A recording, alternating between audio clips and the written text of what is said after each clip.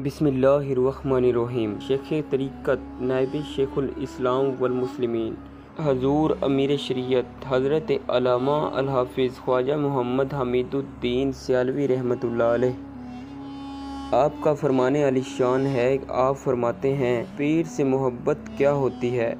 कुछ लोग मोहब्बत का मफहम ही नहीं समझते। मोहब्बत इस चीज़ का नाम नहीं कि उर्स शरीफ पर चले जाना, शिरकत कर लेना, दुआ मांगे या ना मांगे बगैर चले जाना। याद रखो, आप फरमाते हैं कि बकौल शेखुल इस्लाम ख्वाजा मोहम्मद कमरुद्दीन सैलवी रहमत जो अपने पीर के आस्थाने पर हाज़िरी देता है और जो इसमें खामियाँ हैं, अगर वापसी पर वो दूर नहीं होती तो इसकी हाज़िरी कबूल नहीं हुई।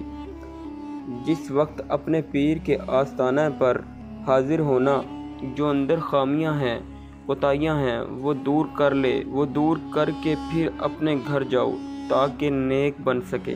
दोस्तों, इसी तरह की मज़ीद वीडियोज़ के लिए हमारे चैनल को सब्सक्राइब कीजिएगा, वीडियो को लाइक कीजिएगा। अल्लाह हाफिज़।